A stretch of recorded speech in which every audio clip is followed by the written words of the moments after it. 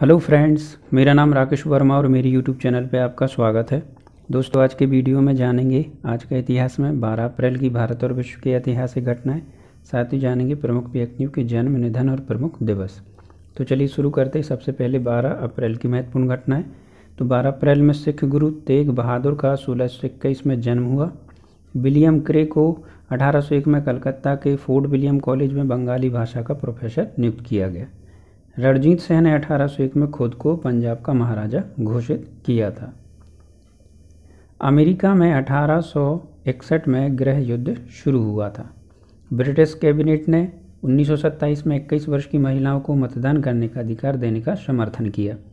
German विमान ब्रेमैन ने 1928 में अटलांटिक महासागर के पूर्व से पश्चिम की ओर पहली सफल उड़ान भरी थी। अमेरिकी राष्ट्रपति फ्रैंकलिन डी रूजवेल्ट को 1945 में कार्यालय में मृत्यु हो गई। सीरिया पर 1946 में फ्रांस का कब्जा समाप्त हुआ। डॉक्टर जोश शॉक द्वारा विकसित पोलियो वैक्सीन को 1955 में सुरक्षित और प्रभावी घोषित किया गया।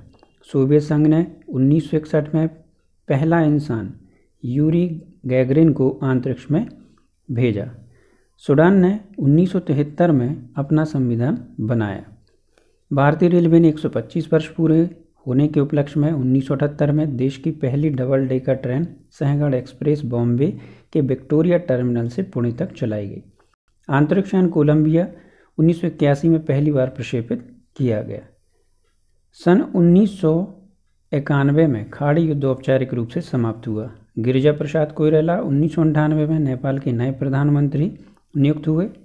साइप्रस के राष्ट्रपति ताशोश पापा दोलस 2001 में छः दिवसीय यात्रा पर भारत पहुँचे।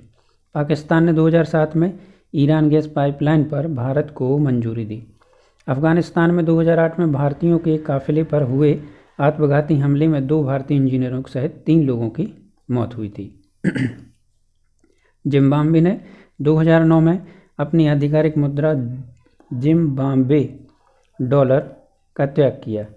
लुधियाना, पंजाब, भारत के गुरु नानक देव स्टेडियम में 2010 में भारतीय कबड्डी टीम ने सॉरी, भारतीय कबड्डी टीम ने पाकिस्तान की टीम को अंठावन चौबीस से पराजित कर प्रथम विश्व कप कबड्डी प्रतियोगिता जीत ली थी। फ्रांस की सी नेट ने 2013 में समलैंगिक विवाह को मान्यता दी। मशहूर गीतकार गुलजार को 2014 में वर्ष 2013 के लिए दादा साहेब फाल्के पुरस्कार दिया गया। अब जानते हैं 12 अप्रैल को जन्मे प्रमुख व्यक्ति। तो मोहन जोदड़ो की खोज करने वाले प्रसिद्ध इतिहासकार राखलदास बनर्जी का अठारह सौ पचासी को जन्म हुआ।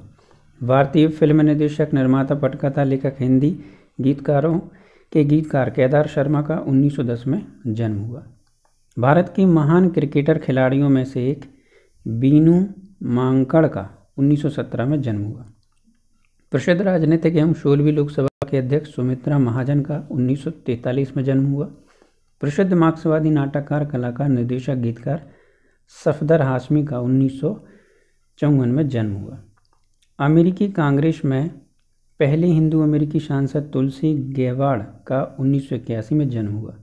हिंदी फ़िल्मों के प्रसिद्ध गीतकार गुलशन बाबरा का उन्नीस सौ सैंतीस में जन्म हुआ। अब जानते हैं 12 अप्रैल को प्रमुख व्यक्तियों के निधन। 1236 में दिल्ली भारत का शासक इल्तुतमिश का निधन हुआ।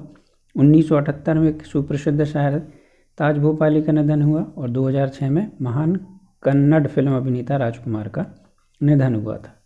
और 12 अप्रैल के प्रमुख दिवस में मनाते हैं विश्व मानव अंतरिक्ष यात्री दिवस। तो दोस्तों, आज के वीडियो में बस इतना ही।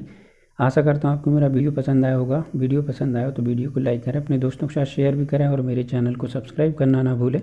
Thank you.